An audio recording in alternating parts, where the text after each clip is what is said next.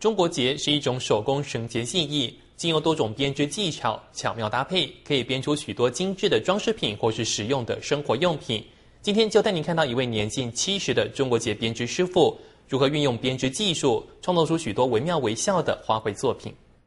无论是代表吉祥富贵的牡丹，或者是万紫千红、喜气洋洋的圣诞红，还是传达恋人秘密的红玫瑰，这一株株争奇斗艳的花朵，从花瓣到叶子，都是中国结编织师傅许樱桃阿妈用中国结的线材一条条编织出来的。这个高难度很难，一个花瓣哈，差不多要半个钟头以上。那整朵做起来的话，差不多两两三个多钟钟头。戴着老花眼镜，专注的编织着郁金香。虽然已经年近七十，编织的动作还是非常利落。这是许樱桃阿妈研究了十九年的手工艺，从使用工具书自学模仿开始，到现在独树风格，每一根线都是她的荣耀与成就。喜欢做这个花哈，很辛苦做的，可是哈做起来如果漂亮的话哈，一切辛苦都值得了。啊，人家说我做的漂亮，我感觉哦好有成就感呢。许樱桃阿妈常常在创作时专注到废寝忘食的地步，虽然让家人很担心，